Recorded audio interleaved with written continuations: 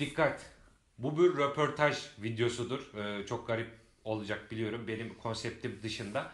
Bugün röportaj yapacağım. Ee, bu videoda küfür falan olmayacak. Ee, onun garantisini baştan veriyorum. Olabilir gerçi. Hani onu da bilmiyorum. Siz yine de temkinli olun. Ortalıkta ben varım. Ne, ol- ne olacağı belli olmaz. Bugün e, İstanbul'dayım ve konuğum Esport kanalında WWE şovlarının e, spikerliğini yapan sevgili İzgecan Günal benim yanımda. Hoş geldin. Merhaba. Alkışlar. Alkışla. Buraya efekt koyuyor mu? İster misin? Koy. Tamam, efekt koyarız. yap. Alkış İstediğini yap. efekti. İzgecan Günal e, WWE'de e, Raw ve SmackDown şovlarının spikerliğini yapıyor. Ve bugün de benim konuğum olacak. İnşallah ona güzel sorular hazırladım. Hoş geldin. Hoş bulduk. E, ben başlamak istiyorum müsaadenle. İstediğin gibi. ben konuğum şu anda. Hadi Evet. bakalım. Şimdi her şeyden önce e, ben seni tanıyorum. Bir geçmişin var. Kanallarda, spikerlik alanında, birçok spor dalında spikerlik yapıyorsun. E, ama hani röportaja başlamadan önce, yani aslında başladık şu an ama e, izleyenler şunu düşünebilir hani ilk defa görüyor olabilirler seni. O yüzden İzgecan Günal kimdir? Bir dinleyelim şöyle kısaca. Ee, tabii İzgecan Günal 1993 Eskişehir doğumludur. Ee, çok fazla uzatmayayım aslında nasıl büyüdüm ne yaptığımı ama İzmir'de büyüdüm. İstanbul'a geldim. Galatasaray Lisesi'ne lise sondayken Eurosport'ta spikerlik yapmaya başladım. O dönem e, This Week in WWE ve Vintage Collection yayınları vardı Eurosport'ta. Yine WWE ile başlamış oldum yani. Ee, 2011 Ağustos ayından beri spikerlik yapıyorum. WWE bitti Eurosport'ta, diğer sporlar başladı. Oradan biraz yelpaze genişledi. Ee, Fight Network'te çalıştım. Eurosport devam ediyor. Bunun dışında e, şu an TV Bu Spor'da çalışıyorum. E, S-Sport'ta da işte e, tekrar WWE'ye Raw ve SmackDown'la geri dönmüş oldum. E, açıkçası benim için ufak bir özet bu şekilde yani. İlk göz ağrım aslında profesyonel güreş, WWE. Spikerlik kariyerimde bununla başladı. Daha sonra devamını getirdim diğer sporlara olan ilgimden dolayı ve işte son bir aydır da aslında e, ne diyeyim ilk göz ağrıma geri dönmüş oldum. İlk Tekrar- WWE ile mi başladı? Tabii tabii ilk e, işte This Week in WWE Vintage Collection'la başladı. Orada Çağrı Bezmez'den sonra Selamlar. yani selamlar Çağrı. ee, Yiğit Alpman var Eurosport'ta hala var kendisi. Ee, Çağrı'dan sonra ona kalmıştı yayınlar. Biz de onlarla şey tanışıyorduk. Eurosport'un web sitesi vardı o dönem. Ben orada staj yapıyordum. Orada tanışmıştım. Abi dedim beni konuk al. Ben anlıyorum bu işten biliyorum. Tamam dedi gel dedi. Bir hafta gittim. Haftaya bir daha gel dedi. Öyle başladı. Ondan sonra bir baktım spikerlik yapıyorum. Yani benim için e, çocukluk hayali olan bir mesleği gerçek anlamda hayatıma sokmuş durumdayım bir anda bakmışım ki. Ya hiç bunun gerçek olacağını düşünüyor muydun hani çocuk hayalinde? Hiç düşünmedim canım. Hiç düşünmedim yani. Bir de ben hani şimdi röportajda da fark edilir. Normal hayatta biraz daha kötü konuşan bir adamım. Daha fazla biraz daha kelime yutarım. Biraz daha hızlı konuşurum. Ee, Ama kulaklığı taktığım zaman işte kendimi çok daha net duymaya başladığım zaman onlar bir anda kayboluyor bir miktar daha. Bana şey derlerdi. e, neredeydim? Lisedeydim. Lise 1'deydim galiba. Türkçe hocam senin dediğini anlamıyorum derdi. Hani diksiyon dersi al ki iletişim kurabil insanlarla diyordu. Ee, hiç yani düşünmemiştim böyle bir şey olacağını. O İşte- diksiyon dersi sana bu şekilde geri döndü. Yani 5,5-6. yıl bitmek üzere. Kariyerin nasıl başladığını az çok anlattın bize. Yani ben bunu ayrıyeten soracaktım. Ee, şöyle bir soruyu yönelteyim onun yerine. Kariyerinin başlaması hayatının değişmesidir. Öyle tahmin ediyorum. Hı hı, kesinlikle. Kariyerini değiştiren, ya başlatan yani hayatını değiştiren isim kimdir yani? Kariyer açısından mı? Evet kariyer açısından. Ya bu zor bir soru ama az önce bahsettiğim Yiğit Alpman olur herhalde. Evet yani başlangıç evet. anlamında söylüyorum. Yiğit Alpman. Ee, Yiğit Alpman olur herhalde o açıdan. Ama yani şöyle bir durum var. Ee, açıkçası ben Eurosport işte o zaman web sitesinde stajyerlik yapıyordum. Editörlük yapıyordum. Haber yazıyordum. Ama oraya girerken bile ben şeyi biliyordum. Hani Eurosport içine dahil oluyorum bir noktada. Şöyle bir durum var. Ben hani spor spikeri olmak istiyordum ama e, işte kafa biraz farklı çalışıyor o açıdan. Hani hiç ben esas isteğim şey olmamıştı. Hani Şampiyonlar Ligi anlatacağım, futbol spikeri olacağım olmamıştı. Hani ben Eurosport spikeri olmak, her sporu anlatabilmek istiyorum diyordum zaten. Ee, o açıdan hani staja girmem ve kendimi zaten hazırlıklı olmam ya benim getirdiğim şeyler. Ama beni Eurosport kanala sokan Yiğit Alpman. Onun dışında beni staja alan e, Dahan Irak keza o da spikerlerden eski. Onda çok büyük emeği var. Ama yani başlangıç için bunlar. Ama çeşitli kırılma noktalarında birçok farklı isim var. İşte Fight Network'e başlamam. İlker Duralı sayesinde ki şu anda kendisini röveşatıcı spiker olarak biliyorsunuz. Keza yine Esport'a başlamam onun sayesinde. Çok emeği vardır üstünde. Ee, birçok noktada birçok ismin aslında katkısı oldu bana o anlamda ama herhalde kırılma noktalarında onları sayabilirim. Anladım. Şimdi yıllar sonra WWE yeniden Türkiye'de yani aslında vardı sanırım bir yayın ama yine şifreli kanaldaydı. Aha. Yani çok e, bilinmiyordu. Ama hani şöyle diyeyim. Ses getiren bir yayın olarak yıllar sonra ben ilk defa bu yayına bir ses getiren bir yayın olarak görüyorum. Hani bunda da ben e, özellikle senin büyük katkın olduğunu düşünüyorum. Çünkü ben bana göre Türkiye'deki pro wrestling yayınlarındaki önemli bir sorun bilgili bir spiker e, olmayışıydı. Bunun sancısını çekiyordu seyirci. Hı hı. Bu yayınlar hakkında soru sormaya geçeceğim. Ee, Esport'da WWE anlatmaya başlama sürecin nasıl gerçekleşti? Yani şöyle gerçekleşti. Şimdi başta şunu söyleyeyim bir kere. Ee, mesela Çağrı Beznez'in anlatımlarını ben hiç izleyemedim. DS-Mark'taki anlatımlarını. Neden? Çünkü tek platforma bağlıydı. Ee, bu yayınların öyle bir avantajı oldu. Esport ama açık kanal değil. Kabul ama birden fazla platformda var. Yani tek platforma bağlı olmak zorunda değilsiniz. Mesela Dijitürk'te var ki Dijitürk en yaygın platform muhtemelen. Dijitürk'te var. İşte DS-Mark'ta var. Turkcell TV Plus'ta var. Ee, daha da gelir mi gelmez bilmiyorum ama en azından şey değil. Yani tek platforma sıkıştırmamış oldu her şeyi. O açıdan önemli. Ee, diğer türlü nasıl oldu? Esport'a nasıl başladım? Ee, şimdi İlker Duralı ilk bölümü anlattı biliyorsunuz. Ee, çok da tepki aldı aslında. Ee, anladığım kadarıyla WWE Türkiye'de iki spiker olması gerektiği konusunda e, bir bilgi iletmiş Esport'a. Yukarıdan yani. Aha, yukarıdan.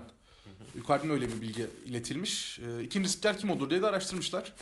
Ee, zaten İlker abi seni önerecektim diyor. İlker abinin beni önermesine kalmadan Yücel Tuğan, e, UFC'yi anlatan isim Esport'ta. O beni önermiş. E, gittik görüştük zaten. Hatta gidip görüşmeden 6 bölüm anlatmıştım ben. Öyle söyleyeyim. Öyle Yani. anladım. Onu da beğendiler. Devamı da geliyor. Yani Esport'ta olduğu sürece WWE ben olacağım orada. Öyle gözüküyor. Memnun musun? Çok memnunum. Mutlusun. Çok mutluyum. İlk göz ağrım. Tabii canım çok mutluyum yani. Ki zaten hani e, hayatımda ilk kez bir sporu bu kadar sonuna kadar takip ettiğim şey Amerikan güreşi olmuştu. WWE olmuştu. Güreş Net sayesinde falan filan. E, yani gerçekten iyi bildiğimi düşündüm. Da tarihinde çok e, net hakim olduğunu düşündüğüm bir spor. Güncelden belki birazcık uzak kalmıştım ama onu da toparladığımı düşünüyorum. Açıkçası benim en keyif alarak yaptığım yayınlardan bir tanesi belki hayatım boyunca. Anladım. Şimdi e, izliyoruz yayınları ve biz e, tamamlanmış bir iş görüyoruz orada. Sunulan bir şey var. Fakat e, özellikle ben çok merak ederim bunu. Birçok kişinin de merak ettiğini düşünüyorum. O e, mikrofonun, kulaklığın perde arkasında neler oluyor? Bir yayın süreci nasıl geçiyor? O gün nasıl geçiyor? Bundan biraz bahseder misin hani? Tabii. Aslında ben bir tane vlog çekmiştim bununla ilgili. Evet. Onu da e, izleyebilirsiniz diyeyim. Tadı damağımda kaldı öyle diyeyim hani. Biraz daha e, ilerleyen günlerde detaylı bir video bekleyebiliriz senden. Yani şimdi şöyle bir durum var. Ee, sonuç artık alışık olduğum bir şey benim. Hani gidip e, mikrofon takıp kulaklık takıp yayın yapmak alışık olduğum bir şey. O yüzden biraz rutin geliyor bize artık ama e, yani aslında ne oluyor? Kanala gidiyoruz. Kabine oturuyoruz. Kulaklık takıyoruz. Kaydı açıp başlıyoruz artık. Şov Ekstra bir şey yapmıyoruz. oluyor. Tabii şov gelmiş oluyor. Ee, Perşembe akşamları yapacaktık kaydı. Perşembe akşamı yetişmiyor. Şovun gelmiş olması. Zannediyorum internetten FTP'den çekiyorlar çünkü. Ee, Cuma akşamları kayda gidiyoruz. Zaten cumartesi yayına giriyor. Ee, videonun üstünü zaten kaydı yaptığın zaman senkronda tutmuş bir şekilde okuyorsun orada. Bir kurgudan geçiyor. işte kesiliyor, biçiliyor, kesilecek yerleri. Ondan sonra cumartesi yayına giriyor. Ama dediğim gibi hani bu çok basit anlatıyorum bunu ama artık benim için bu çok olağan bir şey haline geldi. Yani genelde şunu yaparız. Yayından işte canlı yayınlardan bir saat önce gideriz kanallara. Ee, Ona göre hazırlığımızı yaparız, çıkarız. Ama WWE'de zaten çok iyi bildiğimi düşündüğüm için e, gidiyoruz. Bir de kaydı kendimiz başlatıyoruz sonuçta orada. Kaydı yapıyoruz, çıkıyoruz. Ha şu var benim için sadece ben şeyden uzak kalmaya çalışıyorum. Raw ve SmackDown'dan hem izlemiyorum e, Amerika yayınlarını hem de spoilerlardan olabildiğince uzak kalmaya çalışıyorum ki verdiğim reaksiyonlar gerçek reaksiyonlar olsun. İzlerken ilk defa görüyorsun. Evet. Bak bu çok önemli ve güzel bir şey yani. Yani normal şartlarda hani ben e, oturup canlı izlediğim son dönemlerde vardı ama az vardı. Hani düzenli olarak e, kalkmıyordum Raw ve SmackDown'a. Daha doğrusu kalmıyordum. Uyanamam zaten onlara ama ben uyumam. E, artık yani şey yapardım ama hafta içinde belli bir noktada geldiğinde aklıma geldiğinde ya da işte Reddit'te gördüğümde mesela açardım eski bölümü izlerdim. O almış bölümü izlerdim. Şimdi onu yapmıyorum. Spoiler'dan uzak kalamıyorsun her zaman tabii ki ama hani en azından şovun tamamında ne olduğunu bilmiyorum. Önemli noktaları belki öğrenmiş oluyorum. Dediğim gibi reaksiyonlarımın gerçek olması için doğru tepkiyi, gerçek tepkiyi verebilmek için bölümleri izlemiyorum sadece. İlk anlattığım anda izlemiş olmak istiyorum. Onun dışında başka bir püf noktası yok aslına bakarsan.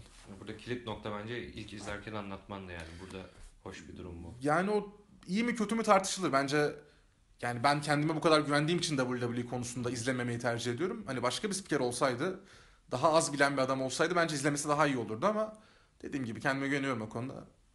İzlemiyorum gayet tepkimi veriyorum yani. Evet işin perde arkası konusunda biraz bilgi aldık. Senden ilerleyen günlerde bu tarz vloglar görecek miyiz yine? Yani kanalda. Ya şöyle aynı vlog aynısı bir daha olur gibi olacak aslında. Çok fazla düşünmüyorum onu ama bir de şu var. Hani esport benim dışarıdan gidip iş yaptığım bir yer. Ee, bir de Kanal D'nin binası olduğu için oraya girişler çıkışlar falan da biraz zorlu olabiliyor. Ee, yani o kadar şey değil, o kadar özgürlüğüm olan bir yer değil esport. Hı hı. Hani kanala şimdi benim YouTube kanalına başladım. Çok e, hızlı girdim devamı gelmedi gibi oldu biraz ama devamı gelecek. Hani sadece WWE üzerine olmayacak. İşte UFC de olacak, şu da olacak, bu da olacak.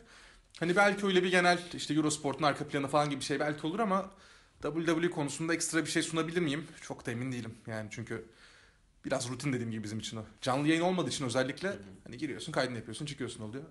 Anladım. Olanlar yani o kadar aslında.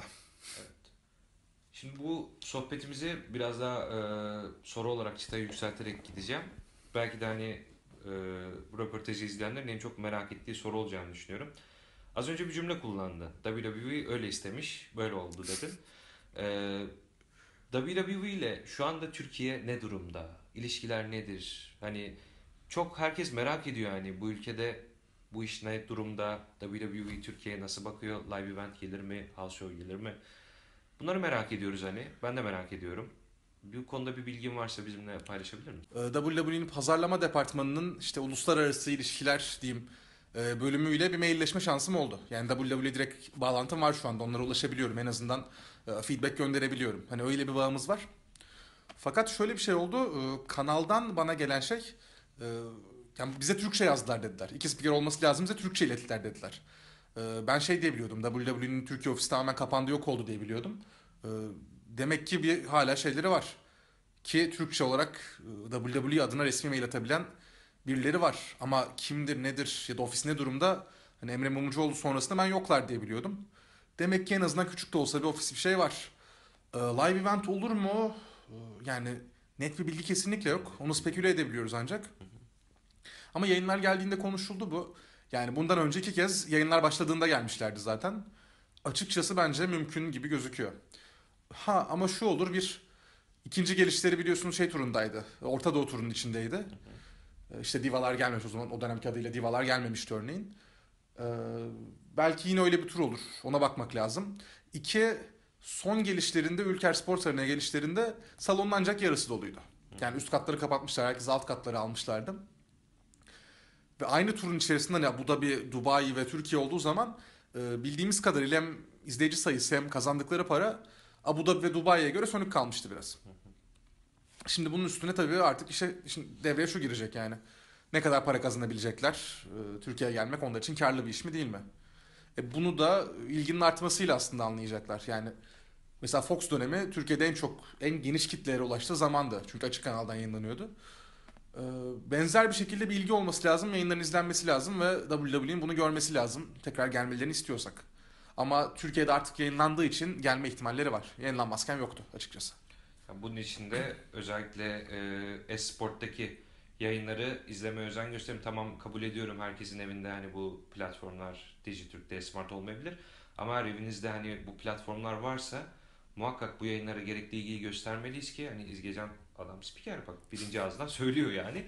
İlgi varsa, e, arz varsa talep böyle bir laf vardı değil mi? Talep varsa ar- arz da böyle E bir tabi laf aynen vardı. öyle. E, Talep varsa arzda oluyor. Aynen öyle. yani durum ilgiye bağlı tamamen. Birinci ağızdan da duydunuz. Bu işe e, ilgili olan bir kitleye sahibiz. Demek ki bunu yapacak olan da yine bizleriz. Bize ne düştüğünü öğrenmiş olduk. Ha, yine bir şey daha söyleyeyim bu arada bu konuyla ilgili. Şimdi tabii şöyle bir durum var artık. WWE Network sayesinde WWE'nin direkt olarak görme şansı var. Hı. Hani kimlerde network var, hangi ülkede ne kadar izleniyor görme şansı var. Ülkemizde de maalesef network e, kullanımı çok yüksek değil. Evet. Ee, yani bu aslında çok engellenebilir bir şey değil bizim için. Çünkü yani engellenebilir değil de. Yani yapacak bir şey yok. Çünkü ayda 10 dolar aslında az bir para değil WWE için. Ayda 40 liraya denk geliyor artık. Ee, yani Türkiye standartları için bu düşük bir meblağ değil baktığın zaman. Hele böyle bir hobi ayırmak için. Ee, bilmiyorum hani bunu kullanıyorlar mıdır ama WWE Network'ün de Türkiye'de yükselmesi bir şekilde mümkün olursa O da bence çok onların e, direkt olarak görebileceği ve Türkiye'ye daha fazla akıllarını tutabilecekleri bir durum haline gelir. Kötü bir cümle kurdum ama anladınız galiba. beni. Yo anladım. Ee, yani dediğin şey doğru. Ben de WWE Network'ü WrestleMania itibariyle iptal ettirdim. Ben de yani. iptal etmiştim. Yani yayınlar başlamadan önce yani şöyle oldu. Ben Mayıs ortası iptal ettim zaten. Mayıs sonuna doğru haberi geldi bana. Sen Evet. spiker oluyorsun diye geri aldım tabii ama yani Evet. Yani bir ay bedavaya gelmiş oldu öyle yapınca. Tabii. Network bir tekrar alınacak o zaman ya. Yani ikimizin de iptal ettik demesi ben biraz... ben ben de iptal etmiştim yani. Doğruya oldu. doğru geri aldım ama Neyse WWE Network alın. Bu bir reklam değildir. Ee, kesinlikle sponsorumuz falan değiller ama alın yani. keşke sponsorumuz olsalar. ya yani değil mi? Beni duy biz başkan beni bulsun. beni bulsun. Devam ediyorum. Ee, büyük oranda hani e, işin perde arkası konusunda merak ettiğim şeyleri hani aydınlattın. Ee, bunlar yeterli olacaktır hani takipçilere. Biraz da şimdi şunu demek şuna geçmek istiyorum. Birçok spor anlatıyorsun. U- e, işte UFC UFC anlatamadım henüz ama yok sanırım. Ne var? NFL var. onu da bir kere anlattım. Daha çok takip etmiş anlatıyorsun? olabilir Öyle ama. soruyor. Abi şu an golf anlatıyorum. Aha. Ee, otomobil yarışları anlatıyorum Eurosport'ta. Ee, işte sezon açılınca futbol, basketbol oluyor TV bu sporda. İşte Şampiyonlar Ligi anlattım, Avrupa Ligi anlattım. Yine anlatacağım önümüzdeki yıl. En son anlattığım maç Futbol Maçı, maçı. aha. En son Rusya Ligi maçı anlattım ya. Ha, Yani tamam. son anlattığım maç oydu. Ee, ama yani hatırlamıyorum da bu arada artık. Onlar da bitine bindi biraz. tabii canım çok olunca. Yani. İşte Eurosport'ta kış sporları geldiği zaman kayak anlatıyor olacağım. Ee, NFL yayınlanırsa herhalde anlatacak adam ben olurum ama yani şey anlattım Super Bowl 50 en son. Geçen yılki Super Bowl 2016 Super Bowl yayınlandı. Onu anlatmıştık. Ee, D-Smart'taki Fox Sport'a öyle çok özel bir kanala yani. yani D-Smart platformunun içindeki Fox Sports kanalına anlatım yapmış olduk. Ee, NFL mesela alınırsa bir yerlere muhtemelen bana ulaşacaklardır. Ama şu anda yok. UFC'de tabii ki Esport'ta e, Yücel Tuğan anlatıyor. Kendisine saygım sonsuz. Yani. Şimdi bu soruyu ne, niye sordum? Ben e, İzgi Can Günal'ın en sevdiği sporu öğrenmek istiyorum. En sevdiğim spor Evet. Amerikan futbolu. Amerikan futbolu. Amerikan Neden?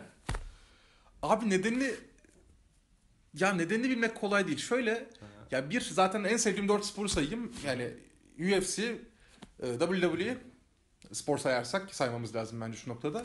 Amerikan futbolu rugby. Hı hı. Yani baktığın zaman vurdulu kırdılı sporları seviyorum ben. Yani Evet. Hani spor dediğinin benim için aksiyon dolu olması gerekiyor. Yani şeye falan katlanamıyorum. Yani golf anlatıyorum ama yani sıkıcı bir spor bir noktada benim için. Ya da mesela işte Eurospor'da snooker veriliyor, bilardo veriliyor. Tenis ya da mesela. Yani karşı karşıya durup oyun oynuyorsun. Bana şey gelmiyor bunlar. Yani bir temas olması gerekiyor. Sporun o içerdiği mücadeleyi alman gerekiyor diye düşünüyorum. Basketbol biraz bunu karşılıyor aslında bakarsan. Ama Amerikan futbolunda, rugby'de, işte dövüş sporlarında özellikle ve WWE'de direkt birebir mücadele görüyorsun. Yani bence sporun çok bu temel noktasına değen bir şey. Ve açıkçası içimizdeki o spor isteğini de spor isteğini demeyeyim ama ya ilk olimpiyatlardan beri olan bir şey bu. Yani iki isim karşı karşıya gelir, birebir dövüşür ve alt eden kazanır rakibine. Günümüzde tabii ki bunun direkt olması mümkün değil. Ama bunu en çok simüle eden şeyler bence bu saydığım dört spor. Amerikan futbolunda şu var. Bir yandan sert bir spor. Yani gerçekten fiziksel olarak güçlü olmanız gereken bir spor. bir yandan da Amerikan futbolunun teknik taktik tarafına baktığın zaman satranç oynanıyor resmen. Çünkü oyuncular duruyorlar, yerleşiyorlar. Hücum set çiziyor, defans set çiziyor. Setteki boşluğu bulup pas atmaya çalışıyorsun oraya ya da koşmaya çalışıyorsun oraya. Yani Amerikan futbolunun o nasıl vurdular kafasından çıktığın anda işte biraz daha teknik açıdan bakmaya çalıştığın zaman gerçekten Amerikalılardan da beklemeyeceğin kadar derin ve stratejik olarak e, 5-6 boyutlu bir spor Amerikan futbolu. Yani bir yandan zihne o yüzden e, yönelik bir spor benim için. Bir yandan da o vurdu kırdı ihtiyacını karşılıyor. Yani sahada olan biten bir şeyin bir oyun olmaktan çıktığını hissediyorsun orada artık. Hani bu fiziksel bir şey. Burada bir mücadele varı da hissediyorsun öte yandan. O yüzden bire herhalde Amerikan futbolunu koyarım. E, Desteklediğin takım Indianapolis Colts. Indianapolis. Logosu yok üstünde ama şunlardan tanıyabilirsiniz. benim çok bilgim yok ama e, iyi bir takım. Destekliyoruz. Başarılar diliyoruz yeni sezonda. E, evet Amerikan futbolu dedi en sevdiği spora İzgecan Günal. E, açıkçası buna e, yani kendim soruları hazırlarken pro wrestling, profesyonel güreş dememizi istiyorsun sen. O yüzden Evet, pro wrestling istiyorum. Profe- profesyonel güreş e, demeni diyeceğini bekliyordum. Hani onun üzerine Ya şöyle e, tabii çok uzun dönem hı. profesyonel güreşte benim için. Yani bir numaraydı. Ne zamana kadar? 2015 başına kadar herhalde yani. Benim için en bir numara WWE'ydi. Biraz WWE'nin e, ikircikli bir döneme girmiş olması, biraz da işte UFC'nin çok yukarı çıkmış olması, e, benim Amerikan futboluna daha fazla vakit ayırabilmem ve sporu daha net görebilmem bunları sağladı. Şu an aslında dediğim gibi bir Amerikan futbol derim, iki UFC derim, MMA derim, üçe ben profesyonel güreş koyarım şu anda. Ama yani benim standartlarımda e, yani üçüncü en sevdiğim spor demek gerçekten ciddi miktarda mesai harcadığım, vakit harcadığım ve yakından takip ettiğim bir şey demek. Ki zaten anlatıyorum yani. o yüzden Anladım. Pro Wrestling ile tanışmana sorsam sana. Flash TV. Flash TV. Flash TV. Sonra? Geçen bir videomda Flash TV demişim de Flash TV'ye. Sen de bir İngiliz dili öğrencisi olarak Estağfurullah. benzer dil suçmalarına hakimsindir. E, Flash TV yani. Ne zaman? İlkokuldaydım daha İstanbul'a gelmemiştim demek ki işte. 2002-2006 arası mı yayınlandı? Kenan öyle söyledi az önce. Ee, Kenan Altun. Şu anda bizi kameraya çekiyor ama yokmuş gibi davranacağız. Ee, Kenan'a teşekkürler bak yayının ortasında Kenan'a teşekkür ediyorum. Şu an kamerada kendisi. e, Teşekkürler Kenan. Teşekkürler Kenan. Ee, Yani Flash TV'de başladı aslında. Yani sonuç olarak kaç yaşındayım? 10 küsür yaşındayım. Yani 9 ile 12 arasıdır. İşte sonuçta izledik. Rey Mysterio'yu çok sevdik. Rey Mysterio'nun Kevin Nash'i bir anda işte Huracan Rana'yla tuş etmesini çok sevdik. Ee, çok seviyoruz Rey Mysterio'yu. Hala çok hala çok seviyorum. Hala yani çok hala çok seviyorum. Ee, işte yapmaya çalıştık. Birbirimizi sakatladık. Şu oldu. Annem kızdı. Yatak kırdım falan filan derken 2007 yılının işte Ağustos ayı olması lazım. Liseye başlayacağım. İstanbul'a geleceğim. Yatılı okumaya başlayacağım. Yazlıktayız. Burhaniye'de tatildeyiz. Kuzenim benden iki yaş küçük kuzenim, iki buçuk yaş küçük kuzenim geldi. Abi dedi şey Rey Mysterio var diye dedi. Ha evet dedim. Big Sexy'yi tuş etmişti. O kadar ama bakış o sırada. Dedi o hala güreşiyormuş. Dedim hadi göster bana çabuk. Göster çabuk bana. www.com'u açtı. Baktım Raw varmış, SmackDown varmış. SmackDown'un varlığını biliyordum ama yani SmackDown olarak biliyordum sadece. Snack TV'de başlamış mıydı o zaman emin değilim ama e, ya vardı ya başlıyordu. Belki kuzenim de oradan görmüştür. Neyse. Rey Mysterio varmış WWE diye bir girdik. Sonra bu nereden bulunur, ne yapılır, ne edilir? İnternette biraz bakındım. Güreşmanya.net'i buldum. Ee, açıkçası yani bunu daha önce de söyledim. Hakan Aktanır ve Güreşmanya.net benim şu noktaya gelmiş olmamın en büyük sebeplerinden bir tanesidir. Ee, Güreşmanya.net forumlarına girdim. Orada da şu var işte. Mesela profesyonel güreşlerimizi istiyorsun dedin ya. Benzer bir şekilde ben internette Türkçe yazım kurallarına uyulmayan bir şey takip edemiyorum. Ya, alerjim var. Bir foruma giriyorum. iki sayfa sonra artık yeter burası diyorum. Sıkılıyorum çıkıyorum. Güreşmanya.net forumlarında Türkçe konuşamayanı, Türkçe yazamayanı almıyorduk forumlara. Alınmıyordu yani. Forumun kapısından içeri giremiyordunuz zaten. O yönüyle çok çekti beni. Bir yandan baktığım zaman cidden bu iş e, çok ciddi bir şekilde üstüne kafa yorularak konuşuluyordu. Acayip hoşuma gitti.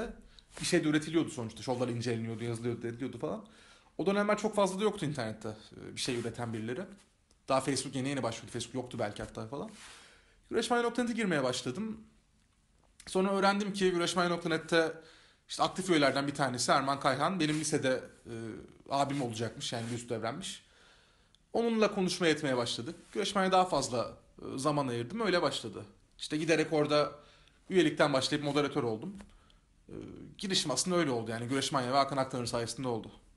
Ya bu konuda e, seninle karşılaşmak beni de çok mutlu etti. E, ben de güreş da hani sen kadar içinde bulunmayarak o site hani şöyle bilmeyenler için hiç görmemişler için yüzeysel olarak söylemem gerekirse bir e, güreş kütüphanesiydi. Bir Türk güreş kütüphanesiydi. Hani bütün şovların didik didik bütün incelemelerine kadar vardı. Ve bunu sadece hani Hakan abi de yapmıyordu. Demek ki hani Yani çoğunluğu de- tabii Hakan abideydi ama şöyle ya bizler de yaptık. Ne Tabii. oldu? Şimdi bir kere şey vardı. WWE tarihindeki bütün pay-per-view'lar vardı. hı, evet. Ee, TNA tarihinin yani haftalık pay-per-view'lardan sonra aylık pay-per-view'ların başlamasıyla birlikte oradan sonra da çoğunluğu vardı.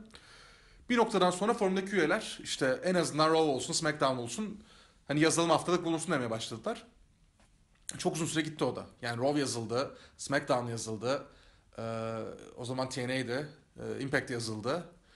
İşte ECW, ECW yazıldı. WWE ECW yazıldı. Sonra işte şey olan, yarışma olan NXT yazıldı. Hatta şey vardı, Superstars vardı hala var mı emin değilim. Ee, Superstars bile yazılıyordu bizim. Ben de emin değilim şu an. Bizim Çetin vardı, Çetin Zırhlı. Manyak gibi Superstars izliyordu. Ee, yani her şey çıkıyordu, yapız yazılıyordu zaten. Hakan abi geçmişe dönüp her şeyi incelemeye devam ediyordu. Ee, Rov'un ilk yıllarından başlayarak o da incelemeye başlamıştı ki Rov da birkaç yıl aslında incelenmiş, yazılmıştı tamamen. Ee, yani zamanının çok ötesinde bir siteydi Güreş Manyağı. Gerçekten kütüphaneydi. Herkesin profili vardı. Bütün güreşlerin Türkçe profiline ulaşabiliyorduk. Daha Wikipedia nedir bilmezken herkesin profili Güreş Manya'da vardı. İşte makaleler vardı. Ee, dediğim çok incelemeleri vardı. Terrible Türk vardı. Terrible Talk vardı tabii kesinlikle. Hak bakışı vardı mesela Hakan Aklar'ın o en azından her yıl yazdığı, her yıl o yıla bir bakış attığı yazılar vardı falan. Ee, Çok özel bir işti. Türkiye'de hala öyle bir iş yok. Ha ne oldu? Yani şu an baktığın zaman şimdi artık elimizde internet diye bir şey var. Hatta Network'le de birlikte, W Network'le birlikte de hani geçmiş şovları çok rahat açıp ince izleyebiliyoruz. Hani yazılı okumaya gerek yok. Ama o dönem hani ülkenin yeni yeni ADSL'le tanıştığı falan bir dönemdi. Ve bir anda karşımızda yazılı olarak her şeyi bulma şansımız olmuştu. Çok büyük emek sarf edildi. Açıkçası yani Hakan abi başta olmak üzere birçok insanın çok fazla karşılığını alamadı bunun. Herhalde en çok ben almışımdır karşılığını. Ee, Yani bu noktalara gelmeyi başararak tabii. Ama dediğim gibi bu olmasa, güreşmanya olmasa mümkün değildi benim. Hani Eurosport'a girmem mümkün değildi bir kere. Bütün kariyerimin başlaması imkansızdı. Ben profesyonel güreş işini bu kadar ilgilenmemiş olsam, bu kadar iyi biliyor olmasam o sırada. Yani dediğin gibi Hakan Haktanır hani bugün belki de hani güncel takipçilerin birçoğunun ismini bilmediği ama yani bu işin gizli bir kahramanı diyebileceğim birisi. Benim de hani bütün e, hemen hemen çoğu bilgimi, bilgimin yani %90'ını e, aldığım site Hakan Haktanır'ın sitesi Güreş Manya'ydı. E, şöyle bir soru geldi aklıma sen anlatırken. Karşılığını çok alamadık dedin. E, yapılan yıllar hani güreşin taş devri. Hani Türkiye'de. Hı hı. Türkiye'de güreşin taş devri. Bunu o zamanlar hani siz bir toplulukmuşsunuz e, Güreşmanya'da. Hı hı. Ortak bir zevk var. Ve bir yazılar çıkıyor ortaya. Hani aranızda hiç konuştunuz mu? Biz bunu kime yapıyoruz? Kitle olarak hani. E, Abi geleceğe hiç- mi yatırım yaptınız? Hiç konuşmadık. Yaptınız. Keyif sen. aldığımız için yapıyorduk. Keyif aldınız. Yani ya mesela şöyle bir şey vardı hani açıkçası. Mesela yeni gelen birisi şunu görüyordu. Hani ben bu formda bir yere gelmek istiyorsam, yükselmek istiyorsam bir şey üretmeliyim, emek sarf etmeliyimi görüyordu mesela. Hani yeni gelen, eli kalem tutan yani en azından düzgün yazabilen birileri falan filan bunun için çalışıyorlardı belki ama hani bir noktadan sonra biz Güreşmanya'yı kendi sitemiz gibi hissediyorduk. Açıkçası kim giriyor, ne oluyor, e, reklam alınıyor mu, reklam parayı karşılıyor mu falan kimsenin umurunda değildi bizim için. E, Yani kendimiz için yapıyorduk aslında. Anladım. Ama çünkü şunu biliyorsun. Çünkü kaliteli bir iş çıkardığını biliyorsun ortaya. Ve ekip halinde bunu yapıyorsun. Çok da başka bir şeye ihtiyaç duymuyorsun. Yani kimi yaptığımız hatta o kadar umurumuzda değildi ki mesela e, Güreşmanya'nın son dönemleri hatta Progress.net'in de tamamen olduğu dönemlerde Facebook oldukça aktifti. İşte Fox'ta yayınlar başlamıştı. Mesela ben seni tanıyorum o zamanlardan. Seni biliyordum en azından ama e, Güreşmanya.net sitesi ve Güreşmanya.net tayfası mesela Facebook'a giremedi uzun yıllar. Evet. Ya da güreşin Facebook'ta konuşulmaması gerektiğini falan düşündük mesela. Evet. Biraz da zarar verdi bu yani Evet. aslında güreş manyaya. Hani halbuki e, işte mesela SmackDown Raw sayfası vardı o zaman. Herhalde en büyük sayfa oydu. Ee, ya da mesela işte Güreş Türkiye e, galiba kurulmuştu o zamanlar ve forum aktifte çalışıyordu. Bir, bir şey oldu yani. Güreşmanya.net'in bir yukarıdan ve dışarıdan ha siz Facebook mu ha falan diye bakışı oldu. O doğru. Başta öyle bir tavır vardı. Ben oldu. hatırlıyorum. Bana yani karşı olmadı da değil. vardı. Bana karşı da olmuştu. İlerleyen yıllarda e, hiçbir zaman bu tavrı kıramadım ama hani ben güreşmeye hiçbir zaman e, kötü bakamadım ya. Çünkü her şeyi öğrendim yani yani. E, ve sonrasında da üç büyük forum olduğunu hatırlıyorum. Sizin haricinizde bir forum Güreş Türkiye ve bir forum daha vardı. Hatırlamıyorum ki onları ben hiç. E, Yani hiç öyle bilgim yok. Hatta şunu söyleyeyim mesela. Hani şu anda açık konuşmak gerekirse benim zararıma olan bir şey bu. Yani ben işte Güreşmanya'ya verdiğim, Progres'e verdiğim bütün emeği Facebook'a vermiş olsaydım hani şu an bakın spiker tanıyor musunuz diye beni anons etmek zorunda bile kalmayacaktım belki. evet. Anlatabiliyor muyum? Hani evet. o bir dışa kapalılık vardı. Ama dediğin gibi özellikle Güreşmanya'da hani o kadar ciddi bir arşiv vardı ki bence kimsenin çok fazla karşı çıkma şansı yoktu Güreşmanya'nın Türkiye'nin bir numarası olduğunu o konuda. Yani merak edenler için söyleyeyim sorular olacaktır. Güreşmenya sitesi biz bugün de kontrol ettik. E, tedavülden kaldırılmış. Ama belki bir database'lerden falan e, yazılara belki bir ihtimal. Hakan abi de vardır. Hakan Aklar'da Hakan vardır abi onlar vardır. tabii. E, Güreşmenya gerçekten bu neslinin onu o siteyi kaçırdığına üzülürüm yani öyle bir siteydi. Bizde ortak bir noktamız çıktı hani bu noktada yani biz e, eskiden tanışıyoruz ama e, ilk defa bu kadar hani derin bir sohbette bulunma fırsatı bulduk. Bugün birçok ortak noktamız çıktı ama güreşmeye bence bunların en kıymetlisiydi. Nasıl ki yani İzgecan diyor ya Eurosport'ta spikerim, elle tutulur bir şeylerim var hani falan filan. Yani ben de işte yıllarca Facebook'ta sayfaydı, oydu buydu şimdi videolar şu bu. Hani bunun en başına baktığın zaman bende de Hakan Aktan'ı görürsünüz. Nasıl ki bir e, Paul Heyman Guy e, olayı varsa sanırım bizde Evet. Aynen Hakan- hak tanır gaydi. Hak Tanır Guy diye öyle bir şey diyebiliriz yani. Evet bu güreşmeye muhabbeti güzeldi. Bu arada son bir örnek vereyim Ha, orada tabii. madem. Görüşmeden sonra Progression.net'i kurmuştuk. Hatırlıyorum. En azından şey olsun diye, forumun devamı gelsin diye. Yani ortamın devamı gelsin diye. İşte o ortam şu anda Facebook grubuna evrildi ama e, orada şey olmuştu. Bizim Barış abimiz vardı. 1 Nisan 2011. Hiç tarihten haberim yok. Bu arada hani pro güreş ve güreşmen tarihi 1 Nisanları olaylıdır hep. Şaka açısından değil yani. Şöyle e, ben bir arkadaşım, bir arkadaşımın adını Ahmet zannediyorduk. 1 Nisan günü şey oldu, e, moderatör oldu siteye. Ve benim adım Ahmet değil arkadaşlar diye bir şey açtı. Topik, topik açtı forumda. Kimse inanmadı. 1 Nisan'da geliyorsun. Benim adım Ahmet değil. Ben moderatör olamam yalan söyledim size diye konu açıyorsun. Gerçekten de değilmiş. İki gün sonra buluştuk kimlik istedim çocuktan. Allah. Ha, Neymiş yani, adı? Berk. Berk. Ha. Niye Ahmet yani Berk? Abi Berk olarak girmiş foruma zamanında. Görüşmede kolay banlanıyordu. Banlanmış Evet. ya da en azından ayrılmış bir şey sinirlenip. geri dönerken de adım Ahmet olarak geri dönmüş. Meğer Ahmet değilmiş adam yani. Hani öyle şeyler. Hani 1 Nisan olaylı geçer. Hani Evet. şaka mı değil mi anlayamazsın. 1 Nisan 2011 olması lazım. Ee, Barış abi bir tane konu açmış foruma. İşte Fox'ta yayınlanıyordu o zaman o dönem WWE. İşte genç bir spiker arkadaş arıyorlar. İşte ben de Fox yetkilisi Alim Karasu ile konuştum. E, mail bekliyor diye. Alim Karasu da şey, e, batuk.com vardı. Ülkenin en iyi basketbol sitesiydi o dönemler. Yani nasıl işte güreş manyağı, Amerikan güreşi için, profesyonel güreş için neyse NBA için batuk.com oydu. Sonra NBA yayınları başladığında hep o ekipten birileri gitti. NBA sonra yayınlarla bu kadar popüler hale geldi ülkede. Yani neden güreş de aynı şekilde olmasın diye hep düşünürüz o yüzden. Batur.com'un yazarlarından bir tanesiydi Alim abi. Sonra tanışma şansım oldu kendisiyle ama. E, Karasu ile konuştum diyor. Tanımıyorum ben Alim Karasu kim. İşte spikerlik yapmak isteyenler işte Barış abinin iş mailini orada mail atsın diye bir şey yapmış. Ben de mail attım o kadar yazdım şöyle yapıyorum öyle yapıyorum falan filan diye. Cevap gelmedi ondan sonra. Hiç farkında değilim 1 Nisan mı değil mi diye. Bir buluştuk öyle Barış abi dedim o mailler ne oldu? Han dedi Sazan 1 Nisan'da o diye. Ondan yaklaşık 2 ay sonra falan ben Eurosport'ta spikerliğe başladım. yani, Bu kariyerini değiştirenler için onu da ekleyebiliriz yani. yani belki sayabiliriz. Hoş bir anıymış. Dediğim gibi yani bu güreşmeye sohbeti çok e, iyiydi. Bence e, bu neslin izleyicisinin daha detaylı ben size bir gün anlatırım uzun uzun tamam mı? Bir yayın açarız canlı yayın. Detaylı bildiklerimi anlatırım. Bilmediklerimi de arar öğreniriz. E, onun haricinde şimdiki ortamı nasıl görüyorsun? Şimdi Facebook'ta sanırım. Evet. olay. Yani zannediyorum. Ben biraz uzak kaldım. Yani özellikle yayınlanmadığı için ve yani şu oldu spor anlatımı, spor benim mesleğim olduktan sonra kafayı çok fazla farklı yere bölmem gerekiyor. Yani işte golf anlatıyorum, otomobil yarışı anlatıyorum dedim. Saydım bütün anlattığım sporları. Yani onların üstüne Amerikan futbolu gibi ve UFC gibi işim olmamasına rağmen, yani şu an işim olmamasına rağmen çok sevdiğim için izlediğim şeyler var. Spor benim için meslek haline gelince kafam çok bölünmek durumunda kaldı. Hala da durumum öyle. Yani benim şey şansım yok artık. Facebook'ta, sayfalarda, gruplarda aktif olmak, çalışmak, paylaşım yapmak gibi şansım yok benim şu anda. E zaten Facebook benim çok fazla kullandığım sosyal medya ortamı değil aslına bakarsan.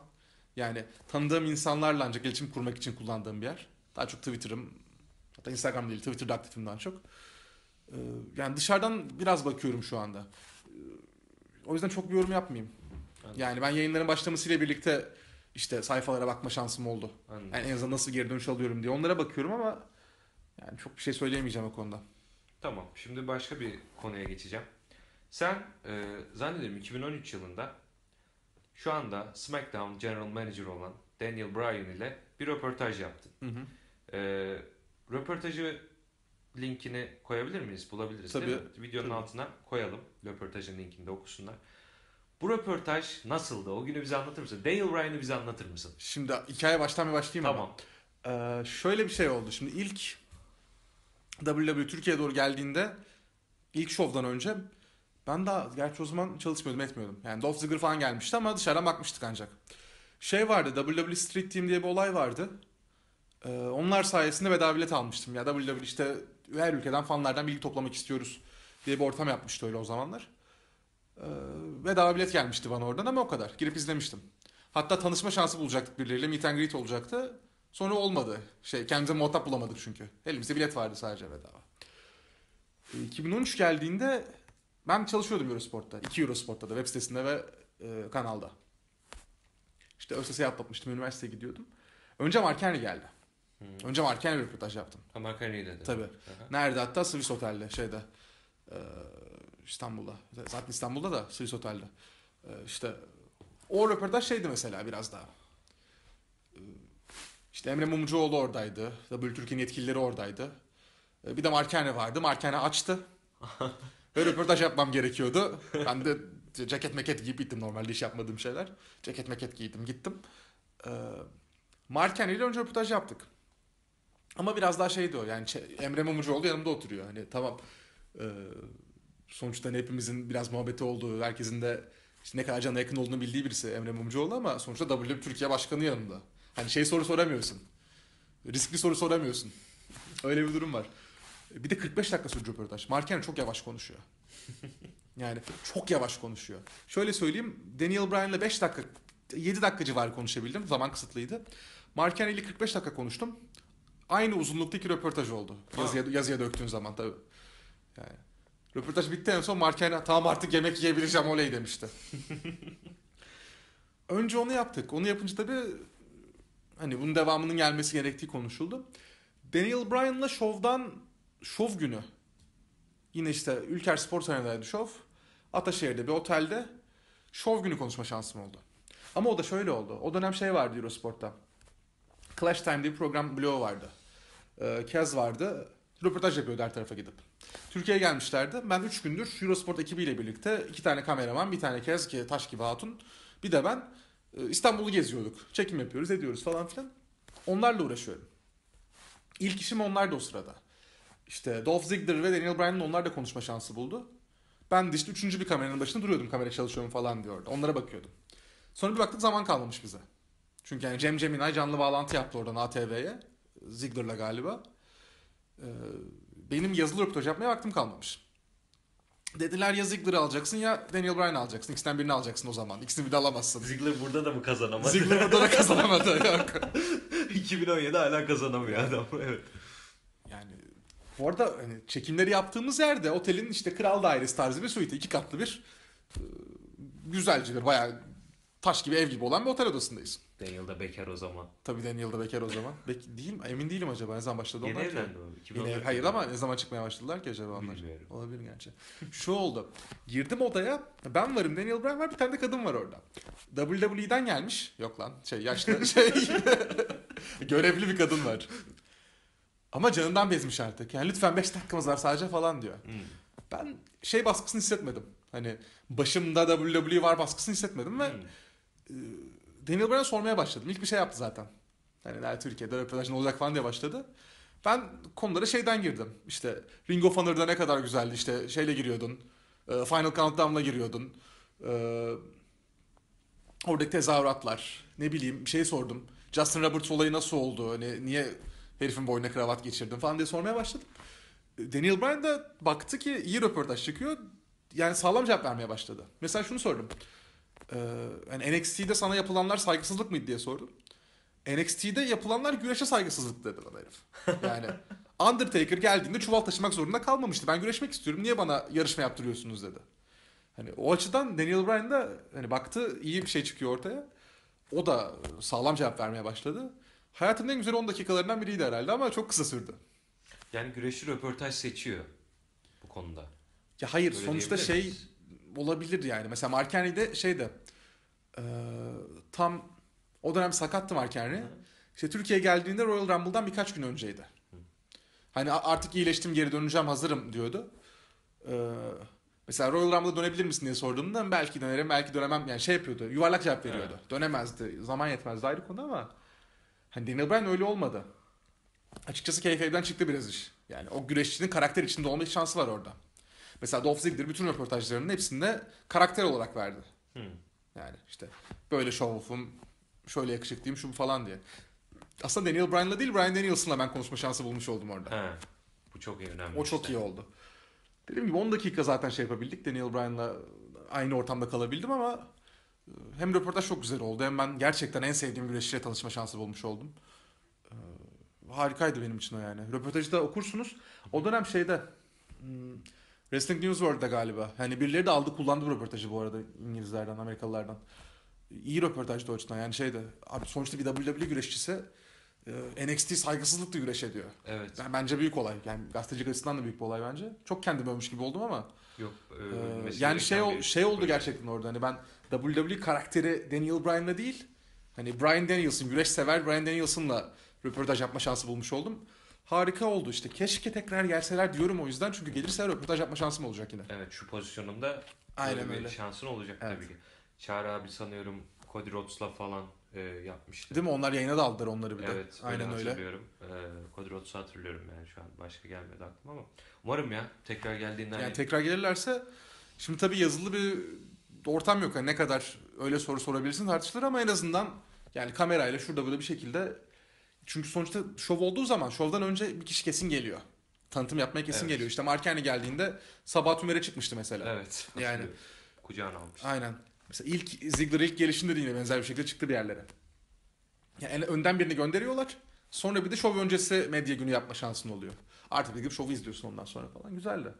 Orada bir de şey yapma şansımız olmuştu bu arada. Yine ilginç bir anı bu. Gittik şova bir baktık şey orada. Felipe Melo orada. Hmm. Yani Ülker Spor Salonu'nda şey yapıyorlar. Ben de bir yandan Eurosport ekibiyle geziyorum bir yandan da bakıyorum hani.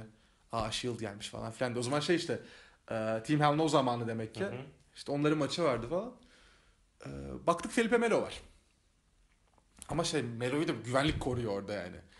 Tribün o noktasına doğru gitmeye çalışıyorsun. Basın kartın var bir şeyin var. Dur bakalım falan diyor orada. Abi şansımıza e, bizim yönetmen Portekiz asıllıydı.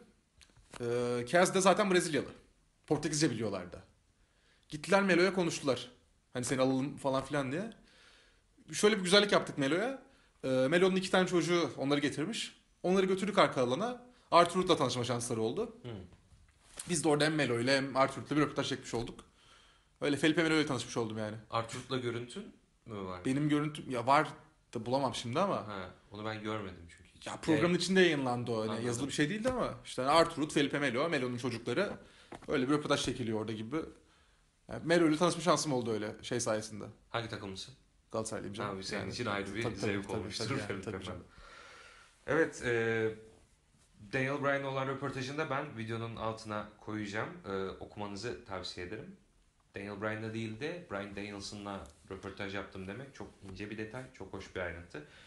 Bunu bir hani ben çok kısa açacak olursam, gimmick dediğimiz olay var ya, karakter, gimmick.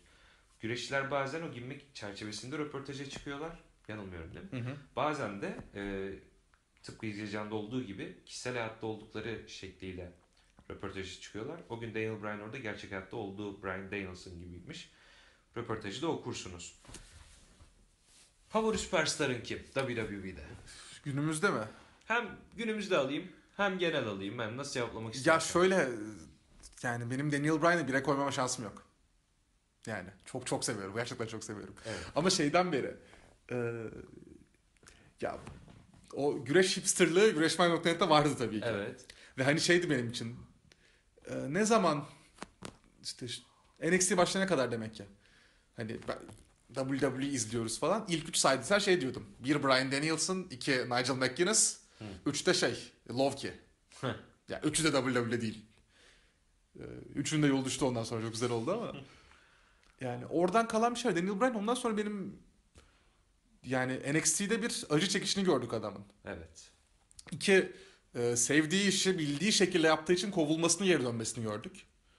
E, e, işte Nexus'un başlangıcı mevzusunda. Ama üç, ondan sonra e, Daniel Bryan'ın WrestleMania'da kemerleri kazanmasına giden hikaye benim için en en duygusal hikayelerden bir tanesidir. Yani en çok benim duygusal olarak e, bir şeyler hissettiğim hikayelerin başında gelir herhalde. Yani Daniel Bryan'ın o yolculuğu açıkçası şey gibi hissettim. Hani Vince McMahon'a karşı sürekli dövüşüyor gibi. Yani her yaptığı işte hani Daniel Bryan'ı sindirmeye çalışıyorlar. O da her seferinde hani hayır işte seyirci benim arkamda diyerek o işte herkesin yes diye bağırması ya da ringi işgal etmeleri falan filan derken e, yani Daniel Bryan yaptıklarını hiçbir zaman herhalde unutamayacağım yani. O yüzden yani senin Taker sevgin gibi oldu. Biraz öyle duygulayarak anlattım ama Yo hissediyorum yani yok. Daniel Bryan'ı yine bire koyarım. Şöyle bir şey var sadece kontratım bitince hala güreşeceğim diyor. Yani dışarıda bir yerde gidip. Devam onu yap etsin. onu yapmasını istemiyorum. O- ayrı konu ama ölecek çünkü abi herif kaç kere beyin sarsıntısı geçirmiş yani. Ee, Anladım. yazık olmasın diye ama Ama emekliliği tabii ki çok üzmüştü. evet yani, yani şimdi hani gelmiş geçmiş en iyisi diyebilir miyim diyemem. Ee, günümüzde en günümüzde aktif süperstar mı diyemem. Hani iki kategorinin dışında oldu belki ama herhalde kendim bir numaraya Daniel Bryan'ı koyarım ya. Bir soru sorayım. Sor. Tek cevap ver. Chris Benoit, Eddie Guerrero, Daniel Bryan. Çok zor soru. Daniel Bryan. Daniel Bryan. Daniel Bryan. Peki. Okey. Daniel Bryan ya. Yok. Yani bence e, Chris Benoit ile Eddie Guerrero'nun güreş içi, ring içi mirasını aldı ve çok farklı bir yere taşıdı. Yani zaten çok iyiydi. Ee, zamanında Ring of Honor'da şurada burada çok iyiydi zaten. İnanılmaz maçlar var herifin. Ama yani bunun WWE'de yapılabileceğini ve en üste çıkılabileceğini ve taraftar desteğinin de alarak bunu yapabileceğini gösterdi. Yani illa hani hele günümüzde Roman Reigns, Roman Reigns, Roman Reigns diye giden bir WWE dünyası varken Daniel Bryan bunun tamamen tam tersi bir adam. Yani çok güzel bir anti kahraman o açıdan. Ee, Daniel Bryan. 2012'de Enes Gönenç benim de çok üzerimde emeği olan bir abim bir yazı yazdı. Başlığını hiç unutmuyorum. Daniel Bryan ile teknik güreşe olan özlem sona erdi. Başlıklı bir yazı yazdı. Yani dediğini bu şekilde onaylayabilirim. Ama yani hayır şey de değildi mesela şimdi. Atıyorum Cruiserweight Classic izleyen var mı çok fazla bilmiyorum izlemişsinizdir herhalde. Mesela Zack Sabre Jr. da acayip teknik güreşçi. Ama aynı şey değil. Yani Zack Sabre Jr. hiçbir zaman büyük bir WWE süperstar olabileceğini düşünmüyorum. Main eventer seviyesinde. Evet evet main demiştim event zaten. seviyesinde. Hani Daniel Bryan onu yapabilecek bir adamdı ve onu gösterdi. Herkes dedi senin karakterin yok sen işte e, mikrofonda iyi değilsin dediler. Şunu dediler bunu dediler. Tipin kötü dediler. B plus player dediler. Al sana B plus player dedi o da yani. Yani evet sağlam dedim. Mesela şey vardı orada. Daniel Bryan NXT'den elendikten sonra bir röportajı vardı. Matt Striker'la. Matt Striker soruyor buna. Hani WWE büyük denizde sen işte küçük göldeki büyük balıktın geldin buraya bu oldun. E, Bundan sonra ne yapacaksın diyor. Daniel Bryan da şey diyor. Hani Daniel Bryan için bu iş bitmiş olabilir şu anda elendi burada ama Bryan Danielson için gelecek ne olur bunu bilemem diyor. Hani WWE yayınında bunu söylüyor canlı yayında sonuçta. Hani belki öyle karizmatik büyük süperstar karakteri değildi ama yani söyledikleriyle insanları etkileyebileceğini biliyordu. Ki zaten kurt güreşçi yıllarını vermiş adam. Ee, Şeyi biliyordu, yapacağı işi çok iyi biliyordu. WWE standartların dışına çıkarak bunu yapmayı başardı. Öyle söyleyeyim. Anladım. Bu nereden geldim buraya bilmiyorum ama ben sabaha kadar konuşurum Daniel En Bryan son hakkında. Eddie Guerrero. Ha evet evet evet. Ama Te- güzel. tek tek cevap istedim ben. o zaman bitti ondan Çok sonra. harika bir cevap oldu yani. Teşekkür ederim. Ee, peki e, güncel en beğendiğin isim kim? Güncel en beğendiğim isim ya şimdi şu günümüz dünyasında bunun cevabı vermek çok çok zor. Evet. Çok zor. Gerçekten. Yani kimlerin tepeye çıkarıldığına baktığın zaman bunun cevabını vermek çok zor. Ee, Kevin Owens herhalde ana kadroya geldiğinden beri benim en favorilerim arasında. Fiziksel olarak da şey yaptığımız için, yakınsadığımız için Kevin Owens'la e, hoşuma gidiyor onun şey yapması. E, ama yani şimdi şimdi Lesnar desen olmaz. Yani Reigns zaten değil. E, Jinder Mahal dermişim mesela şöyle. Aa, yok yani abi o kadar ya çöp adamlar öne çıkartıldı ki. Günümüzde favorim herhalde herhalde Kevin Owens ya. Özellikle şeyden beri bu en son Chris Jericho ile hikayelerinden beri bir tık yukarı çıktı benim gözümde Kevin Owens. Kevin Owens. O da Ring of Honor patentli. Tabii tabii tabii. Daniel Bryan gibi. benim bütün hipsterlığım öne çıkar böyle durumlarda. Ring of Honor. yani Seth Rollins derim o da Ring of Honor'cı. O yüzden Seth Rollins'ı çok severim bu arada. Oraya özel bir sempati var yani Ring of Honor. Abi o dönem Ring of Honor şey ama yani o kadar iyi maçlar çıkıyor ki. Ve hepsi büyük süperstar oldular o adamların. Neredeyse hepsi. Yani mesela şey var o dönem galiba. Neville var mesela o dönem orada pek olarak. Yanlış hatırlamıyorsam. Yani bir Christopher Daniels oradan çıkıp şey olamadı. WWE'ye gelemedi. O da TNA şampiyonu oldu galiba en son. Bilmiyorum, Yok Ring of Honor şampiyonu oldu galiba. TNA'yı takip ettim. Hiç hatırlamıyorum ama o da yani o da bireysel şampiyonluk yaşadı. İşte Kazarian var, Frank Kazarian var. Samoa Joe var. Seth Rollins, Tyler Black olarak var. İnanılmaz bir stable'ları vardı onların Age of the Fall. Mükemmeldi. Ee, AJ Styles var. İşte Low var falan var filan var derken nefis maçlar çıkıyor. Yani o dönem hani mesela şu anda ben şeyim biraz daha hani teknik güreş çok fazla izleyemiyorum artık. Eskisi kadar izleyemiyorum yani. O dönemde de benim tam teknik güreş sevdiğim dönem e, Ring of Honor'ın o dönemi gerçekten altın dönemi. Öyle düşündüğümüz zaman oradaki herkese sempatim var.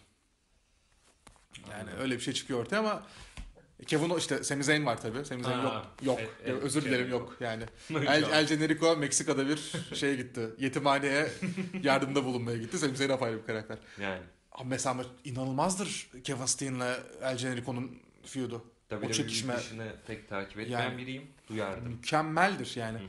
Hepsine sempatim var o yüzden ama bir de dediğim gibi şey konuşulurdu bizim dönemimizde. Yani benim bizim dönemimizde derken Güreşmen.net döneminde. WWE'nin yetiştirmediği bir adam bu kadar yükselemez WWE'de konuşulurdu her zaman. Hep Evet. bu denirdi. Yani bir yandan Vince'in kıskançlığı, bir yandan tarzın farkı falan filan. Şimdi bu adamın hepsinin gelip başarılı olduğunu görmek benim çok hoşuma gidiyor o yüzden. Sami Zayn. Abi Sami Zayn ama fiziksel olarak yani. Adamın e, bir şeyi var yani şu an Facebook sayfalarında en çok troll geçen mevzulardan biri Sami Zayn'in deneyip deneyip bir türlü yapamaması. Karakter o ama abi şunu düşün. Yani Rey Mysterio'nun yerini dolduruyor o açıdan Sami Zayn. Öyle mi düşünüyorsun? Yani Rey Mysterio'nun kariyeri bunun üzerine kurulu. Ya Ultimate Underdog herif zaten. Yani ne oldu? Eddie Guerrero ölünce Eddie'nin hatırına şampiyon oldu. Ee, bir kere Raw'un başında şampiyon oldu. Sonunda Sina'ya kaybetti. Evet. Bir kere daha şampiyon oldu galiba arada ama olduysa da kısa sürdü. Yani Hatırlamıyorum. hani Rey Mysterio'nun karakter, şey, bütün kariyeri bunun üstüne kuruluydu zaten. Deniyor olmuyor, deniyor olmuyor, deniyor olmuyor. En son şey Intercontinental yapıyor. Ha evet. Ne var? Intercontinental var. Tekratı var canım. Ee, Sami Zayn de biraz öyle. Kemeri alabilir mi? Muhtemelen alamaz. Hiçbir zaman alamayacak muhtemelen ama Öyle mi düşünüyorsun? Buradan Sami Zayn fanlarına ne demek istersin? keşke alabilse. Yani keşke alsa ama yani Sami Zayn'in WWE'de bir ana şampiyonlardan biri olması bence mümkün değil. İki kemer varken biraz daha kolay belki ama yine çok zor bence. Neyse fırsatlar diyarı var belki arada derede. Jinder'a giden Sami Abi evet mu? giden kemer. Yani ama yani şöyle bir durum var. Ee, Suriye asıldı ya Sami Aha. Yani herhalde Suriye'de bir pazar yoktur onlar için diye düşünüyorum Hindistan gibi şu anda yani.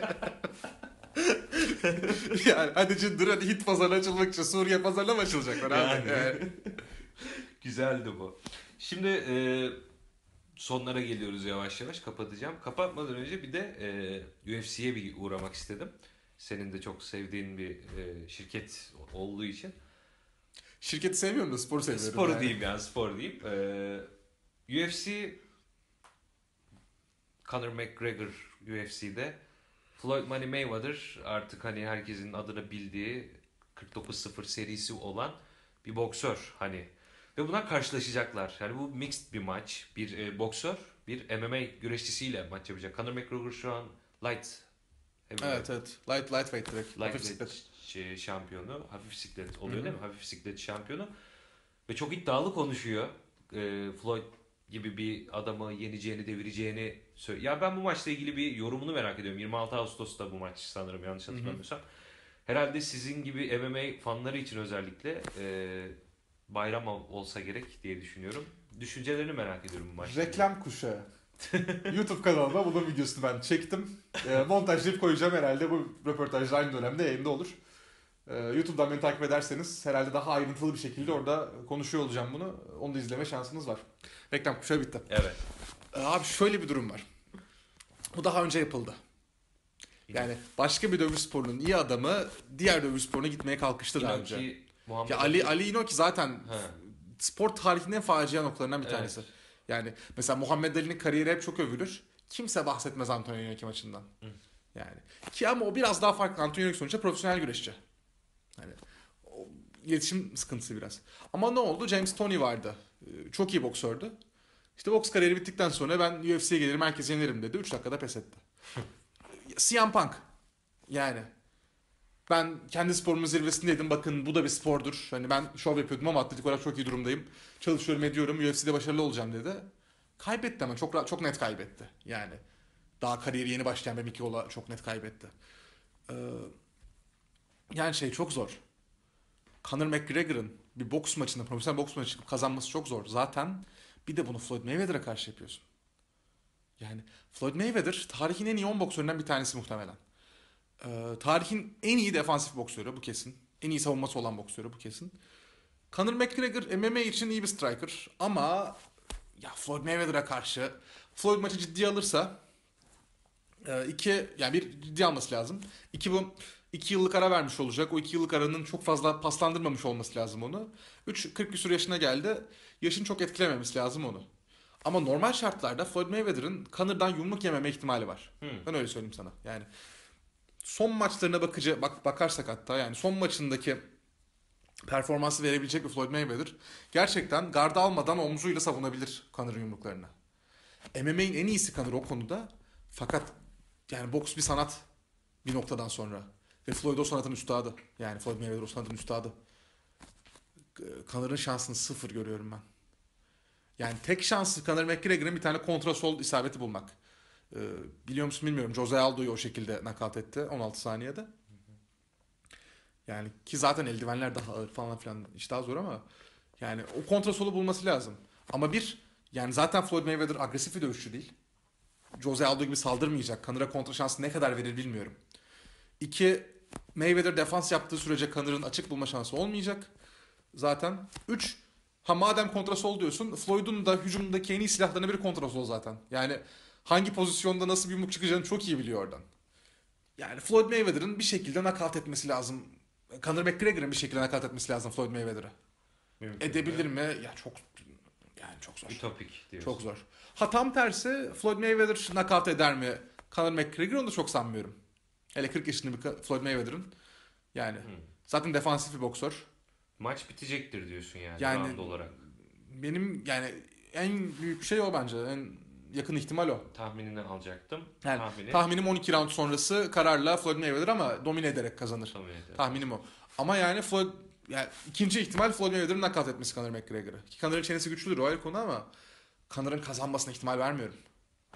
Bakalım. Yani bence öyle bir ihtimal yok. Dediğim gibi WWE dışı dövüş sporlarını takip etmeyen biriyim ama bayağı Ama hepimiz izleyeceğiz. Herkes izleyecek Aynen. yani. reaksiyon çekebilirim. Çek. Yapabilirim. Hadi bakalım. Devam edeyim. Ee, Artık dediğim gibi sona geliyorum. S- e, tekrar son kez bir WWE'ye dönüyorum. E, senden son isteğim hani hazır bir röportaj yapıyorken Hı hı. bir güreş maçı hak- hani az önce bir Conor Mayweather ma- maçı hakkında bir yorum yaptın.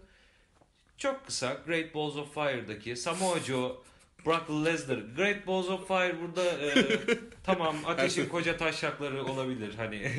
Her seferinde Bu resmi röportajın içine eden bir pay-per-view adı da olabilir. Thank you Vince. Ee, ama bunu sormak zorundayım. The Great Balls of Fire pay-per-view'unda. Ciddi olabilir. Ya o, o bu arada onu da, onu da söyleyeyim bu arada. O e, ya ben bilmiyorum da bizim İlker Duralı, röveşatacı İlker Duralı e, bunu söyledi. Yayında da söyledi bu arada. E, yani son SmackDown son Raw bölümünü izlediyseniz muhtemelen bahsetti orada. E, eski bir şarkıymış bu. Eski ve çok bilinen bir şarkıymış. Great Balls of Artık Fire. promolarda kullanmaya da başladılar bunu. Yani Great Balls of Fire'ın hikayesini sport ekranlarında bir yerde ya dinlediniz ya dinleyeceksiniz onu söyleyeyim.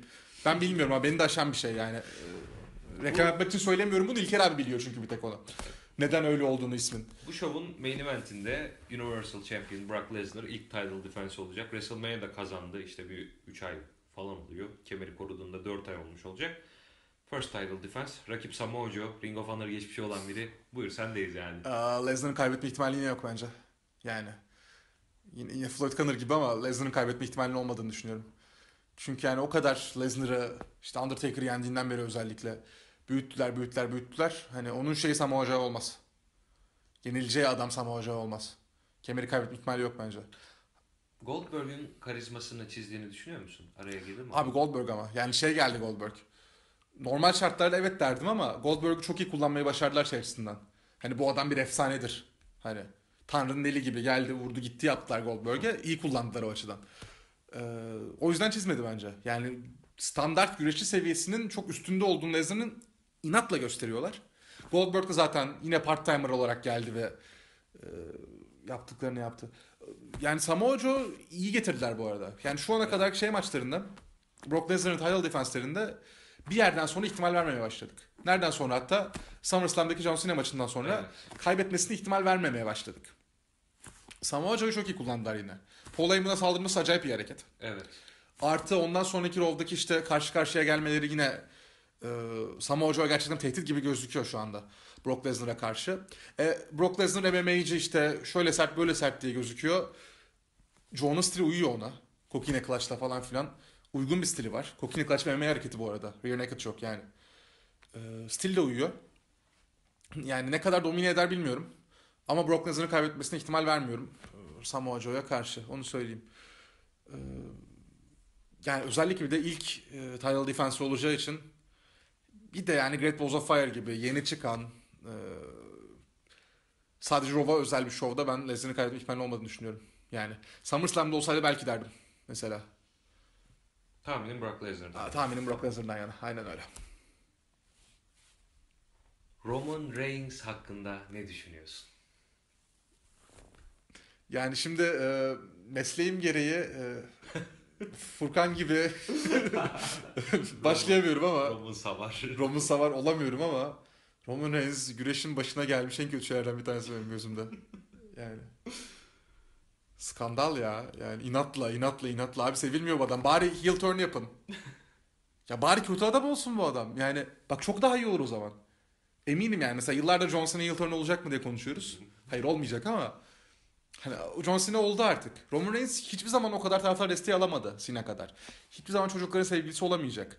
Sina'nın e, John Cena övmeyi çok sevmem bu arada ama Roman Reigns olunca Cena övmek zorunda kalıyorum. Gerçekten öyle. Ee, John Cena'nın rapçi karakteri çok iyi karakterdi. Artı hani kötü güreşçi şu bu dendi John Cena'ya ama maçları taşıyabildiğini falan çok iyi gösterdi. Yani AJ Styles'la falan yaptığı maçlar iyi maçlar. Yani iyi maçta çıkartabilen bir adam. Roman Reigns iyi maç çıkartabiliyor mu? Çıkartamıyor. Karakterinde yani ruh namına herhangi bir şey var mı? Yok. Ruhsuz. Ruhsuzun teki. Geliyor, dövüyor, gidiyor. Yani yetenekli bir güreşçi değil. Karizmatik tamam eyvallah ama yani mikrofonda yok. Mikrofonda sıfır bu adam. Konuştuğundan bir şey anlamıyorsun. Yani believe that diyor gidiyor. This is my heart diyor bu sıralar. This is my art diyor bu sıralar. Yani ne diyeyim? ne diyeyim? Ne diyeyim? Yani Yani gördüğünüz gibi e, Esport WWE spikeri İzgecan Günal bugüne kadar çeşit spor anlatmış. E, yani bu işin artık tillağını bellemiş. Roman Reigns ben Roman Reigns demeden önce röportaja bakın. Roman Reigns dedikten sonrasına bakın. Adam bile yani kaldı ne diyeceğini bilemedi yani. Ama şu, ya şu var bak tekrar söylüyorum. Roman Reigns heel turn yaparsa çok iyi bir karakter çıkacak ortaya. Sina'nın Sina'dan bağımsız olarak. Sina iyi güreşçi zaten yani. Karakter oynayabilen bir adam. Roman Reigns karakter oynayamıyor. Heel olmak daha kolaydır öyle durumlarda. Çünkü tepki çekmek daha kolaydır. Bu adam tepki çekiyor zaten. Hafif mesajını veriyor gibiler ama çok yaptılar onu. Yani, Yani Roman döner mi dönmez mi çok yaptılar. Bence fırsatları var. Ha, Keşke şey olsaydı. Face bir şampiyon olsaydı eğer çok daha kolay olurdu bu iş. Ee, şampiyon yılken biraz daha zor ama yaparlar mı? Keşke yapsalar dediğim gibi. Hani Roman Reigns'e nefret ediyoruz birçoğumuz. Ee, Ben de hani spikerliği bir kenara bırakıp hani bir taraftar olarak, fan olarak bakarsam ben de hiç sevmiyorum. Roman Reigns'i ama heel turn yaptıktan sonra ortaya gerçekten nefret etmekten hoşlandığımız bir adam çıkabilir. Evet. Ve kendisine karşı olan bütün bu e, kötü dilekler bir anda biraz olsun azalabilir en azından. Yani mesela kimi örnek vereyim? Ya birçok örnek verilebilir. Mesela Randy Orton çok iyi güreşçidir. Heel karakterleri her zaman face karakterlerden daha iyidir. Her zaman daha fazla ilgi çeker. Seth Rollins face olduğundan beri platoladı. Yani hatta düşüşe geçti hatta. Ee, ya da ne bileyim mesela şimdi Rusev gibi bir adam. Hani heel olmasına rağmen seviliyor. Hani sosyal medyada seviliyor. Sevimli falan filan diye. Ruru falan diye Lana ile ilişkileri konuşuluyor ediliyor. Hani Roman Reigns'e karşı en azından taraftar sempatisi bu şekilde çıkabilir ortaya. Ha adam ne güzel heel oldu bak diye. Çünkü zorlamayın kardeşim. İyi adam olmuyor bundan. Taraftar desteği alamıyorsunuz Roman Reigns'e. Yani. Çünkü Roman Reigns kimi yense onun önünü kesmiş gibi hissediyoruz. John Cena'yı yense yine şey diyeceğiz. Cena bir kere daha şampiyon olacaktı, rekoru kıracaktı, önünü kesti falan diyeceğiz yani. Yani çok net heel turn gerekiyor Roman Reigns'e. Heel turn olmadığı sürece de bir bok olmaz Roman Reigns'ten. Çok kısa şunu merak ettim. Roman Reigns Undertaker'ı yendiğinde neredeydin? Roman Reigns Undertaker'ı yendiğinde İzliyordum. evdeydim izliyordum. İzliyor muydun? Te- te- evde tek başıma Ne izliyordum. aynen. hissettin? Abi, ne yaptın yani? yani? Küfrettim yani. Ne, yap- ne yapacağım yani? Hayır, sizin reaksiyon videoları kadar şey yapmadım. O kadar duygusal yaklaşmadım ama... Ha- Madem öyle Bray Wyatt kazansaydı madem. Hmm. Yani Shawn Michaels diyorum ben de hay- mesela. hay- zaten de hay- yani. Hani bir kere kaybetmiş zaten. Madem ikinciyi kaybedebilecek bırak Bray Wyatt Ha, kazansın. öyle demek istedin. Yani. Anladım. Ha. Tamam. ha seriyi de Bray Wyatt bozabilirdi bence. En azından karakter tutardı. Yaklaştım şöyle farkındaysan. Yani abi Roman yani madem seri bozulacaktı bence çok daha iyi kullanabilirdi serinin bozulmasını. yani bu Ha Lesnar'ı yine iyi kullandılar. Hani şey olmadı. Hani tanrı moduna geçti Lesnar çünkü WWE'de. Hı. Hani yıllardır da öyle onu da bozmadılar. Ona yaradı en azından. Roman yendi ne oldu? Ne gerek vardı? Ne gerek vardı? işte siz yerde oldu yani. Öyle Hep şey. aynı şeyi söylüyor. değil mi? İşin yoksa izle anlat işte. Şey. Oğlum, Bir kere dediğim lafa bak ya. İşin İşte yoksa Roman Reigns'den önce Roman Reigns'den sonra. yani. Onu şey yapsan before after koysa da öyle. Sur- surat düştü. Spikere dediğim laf. İşin yoksa anlat. şey yoksa. Valla. Paramızı kazanıyoruz Evet, vallahi. ee, açacağım. Bitireceğim bitirme. Ekmek parası Ekmek Roman parası Roman Reigns yani. Ya bizde reaksiyonlar Roman Reigns olmasa olmazdı yani. Bunun dolu tarafına bakacak olursak. Şimdi yavaş yavaş toparlayacağım. Ee, topu bitirmeden önce son kez takip ettiğin Facebook'taki platformlar grup olur, sayfa olur. Onat'ın ringi. Aa teşekkür ederim ben. Onat'ın ringi. Pro Wrestling Media. Kenan orada kamerada. Ee, yani çok fazla bakamadım dediğim gibi. Ee, açıkçası ilk e, yayınlar başladığında nelere baktıysam onları takip etmeye devam ediyorum. Yani Wrestling Turkey grubuna tabii ki bakıyorum. Geçen kendim de bir tane yayınlar bakın izleyin diye paylaştım orada. Ee, WWE Turkey galiba. Cenk'in sayfası var. Ona bakıyorum. Ee, zannediyorum bu kadar. Bu kadar. Bir de Tamam. bir tane sayfa gördüm. Bizim Türkçe yayınları Facebook'a koyuyorlar. Telif attırmayın beyler. Niye uğraşıyorsunuz ki? Yani. Sahibi geldi kaç. Ama hayır bak şöyle bir şey oldu. Ee, şimdi ilk hafta ilk yayını yaptığımızda şeyde bir hafta geriden geliyordu. Biz aynı hafta iki tane kayıt yaptık. O hafta cumartesi günü güncel program yayınlanmaya başladı. O aradaki bölüm ne zaman yayınlandı ben bile bilmiyorum. Facebook sayfasında gördüm. Orada gördüm. Yani e- evet yani. Abicim yani. ne, diyeyim, ne diyeyim bilmiyorum sana yani. Vallahi O sayfanın bu. admininde özel lafım var onun dışında. Sayfanın adını verdin mi? Vermedim. Bilmiyorum ki yani. Smackdown Raw Türkiye falan sayfanın adı ama yani. Çok Şey, orijinal galiba- bir atmış. Yok, yok. Nereden bulmuş acaba? Yok yok Facebook uzantısı galiba. WWE Sport be. Sport WWE mi? Yani bir Evet, adında evet. Sport var. Neyse buluruz. Hani kurumsalı karıştırmayın araya birader. Hallederiz. Yani buluruz hallederiz. Salarız ringi üstüne. Ama yok yani şey de istedim ben o. Kendim ilk e, YouTube'a bir tane video koydum. Yani Türkiye'de yayınlar başladı böyle böyle gidiyor diye. Yani orada da istedim arkadaşlardan bana Facebook sayfalarını gruplarını gönderin diye. Bir kısmı gönderdi onlara da bakıyorum. Şimdi isim isim hatırlayamayacağım ama.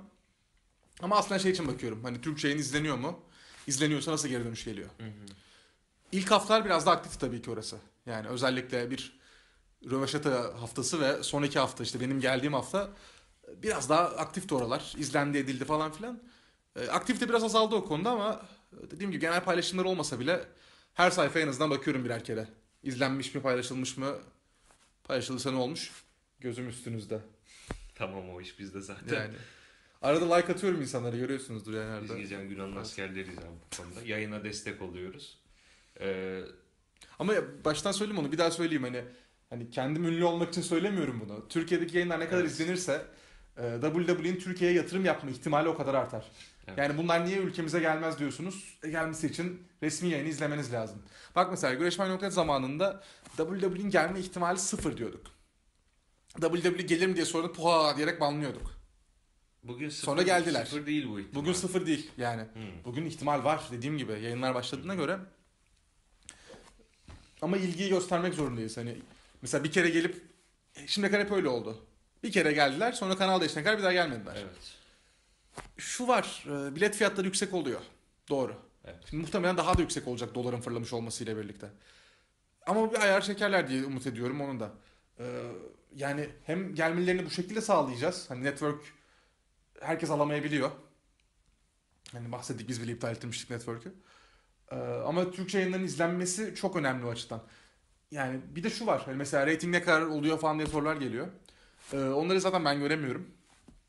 Kanal görebiliyor muyum emin değilim ondan. Çünkü şey bildiğimiz, alışık olduğumuz e, rating ölçümüne dahil değil. Platform kanalı olduğu için. Ama sosyal medyadan en çok görüyorlar. Bu işe ilgi varsa sosyal medyadan görecekler tabii ki. Duyun bunları. Ee, özellikle işte sosyal medyadaki sport hesaplarına yayın hakkındaki görüşlerin bildirilmesi. Özellikle Twitter'dan bunun yapılması, Facebook'tan paylaşılması edilmesi falan çok önemli o açıdan. Yani sırf şey değil. Hani ben kendi izlenirliğim artsın diye size açın izleyin demiyorum yani. Türkçe yayın esportta izlenmediği sürece e, ilginin yani ne olursa olsun bir yararı yok kimseye. Anladım. Yani e, kitle var ama boş e, bir kitle olmasın.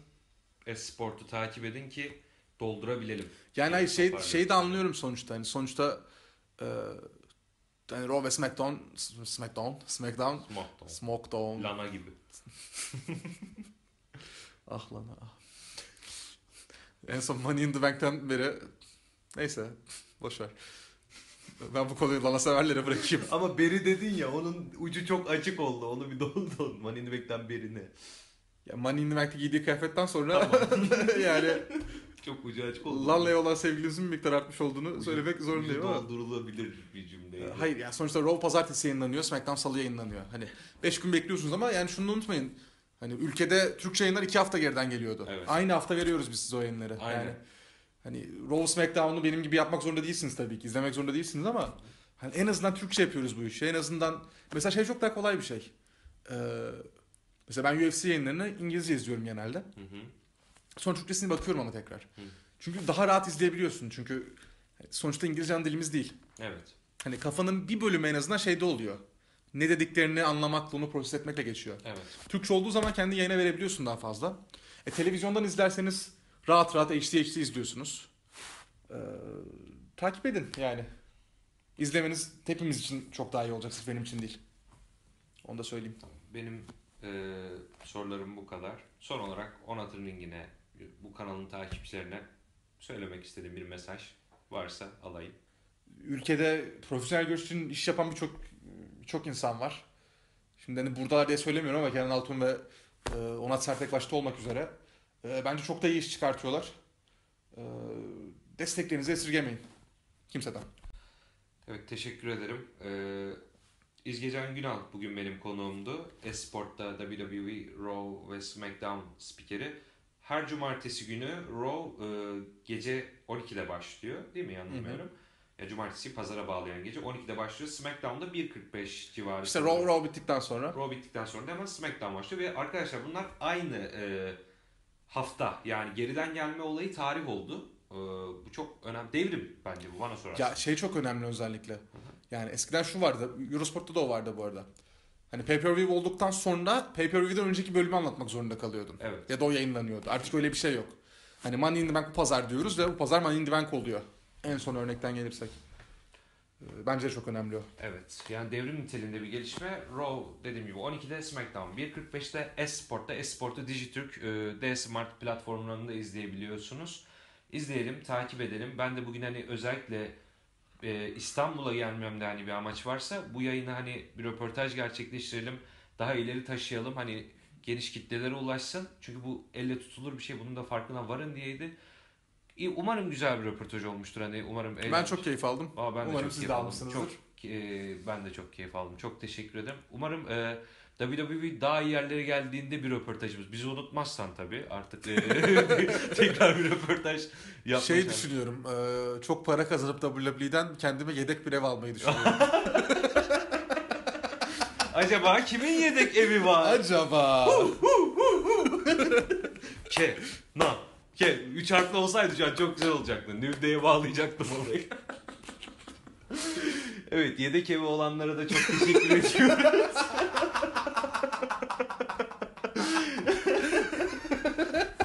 Kenan gerçekten var ya şu an e, bu röportaj şu an kaç dakika oldu bilmiyorum ama sanırım bir çok saat oldu bayağı da oldu ya.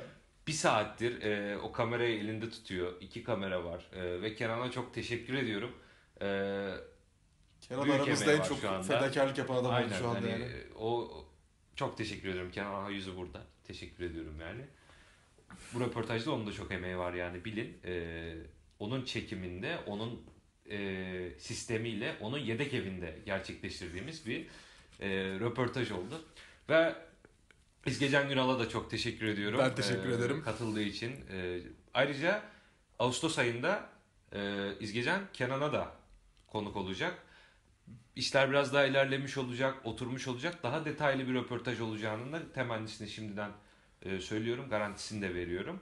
Ben çok teşekkür ederim. Elini sıkalım. Ben çok teşekkür ederim. İlk Kalktın röpor- geldin Ankaralardan buralara. E, ilk röportajımdı. E, böyle çok e, görevli, yetkili bir e, Yetkili bir abiyle. dostum, tanıdığım abim olmadığı sürece de son röportajım olacak. Gerçi ben son derim. Bir ay sonra bir röportaj daha çekerim. Benim de öyle bir huyum var. Arkadaşlar röportajımız burada sona eriyor. Ee, izlediğiniz için çok teşekkür ederim. Ee, İzgecan Günal'ın e, kanalını şurada bir yerde paylaşayım. Onu bir yapayım. Şurada bir yerde paylaş. Şurada bir yerde. Şur ikimiz şu kameraya gösterelim mi? Şurada, bir, Şurada yerde, bir yerde. Solda. Solda şurada bir yerde Şurada bir paylaşayım.